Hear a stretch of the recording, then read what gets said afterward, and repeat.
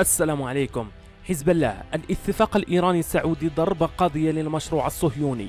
إن لم تكن مشتركا في القناة فاشترك وإذا كنت من المشتركين لا تنسى الإعجاب بهذا الفيديو. قال نائب الأمين العام لحزب الله اللبناني نعيم قاسم يوم الثلاثاء. إن الاتفاق الإيراني السعودي ضربة قاضية للمشروع الصهيوني بالتعاون مع أمريكا.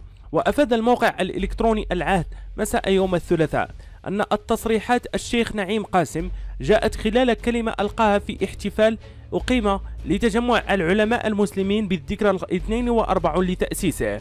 وأفاد نعيم قاسم بأن أعداء إيران المتمثلين في الكيان الصهيوني وأمريكا أرادوا أن يجمعوا دول المنطقة وعلى رأسها دول الخليج لتكون إيران هي العدو بل الكيان الإسرائيلي.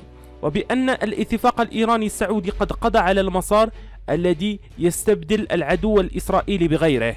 وشدد نائب الأمين العام لحزب الله اللبناني على أن إسرائيل ستبقى عدو وسنجمع العالم ضدها موضحا أن الحزب يدعو دائما إلى كل اتفاق يمكن أن يجعل القوة والعزيمة والتعاون في مواجهة الأعداء الحقيقيين للأمة وليس فيما بيننا. وأصدرت كل من السعودية وإيران والصين يوم الجمعة الماضية بيانا ثلاثيا مشتركا أعلنت فيه الدول الثلاث قيام إيران والسعودية بتوقيع اتفاق لاستئناف العلاقة بين البلدين برعاية الرئيس الصيني شين جين بينغ وأوضح البيان أنه من المقرر فتح سفارتي البلدين في غضون شهرين كما أشار البيان إلى الجانب السعودي والإيراني أعربتا عن تقديرهما وشكرهما لجمهورية العراق وسلطنة عمان لاستضافتهما جولات الحوار التي جرت بين الجانبين خلال عامي 2021 و 2022 كما أعرب الجانب عن تقديرهما وشكرهما لقيادة وحكومة جمهورية الصين الشعبية على استضاف على استضافة المباحثات ورعايتها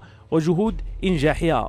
في الأخير إذا كنتم من المهتم بهذا النوع من الأخبار لا تنسوا الاشتراك لتتواصلوا بالجديد وشكرا.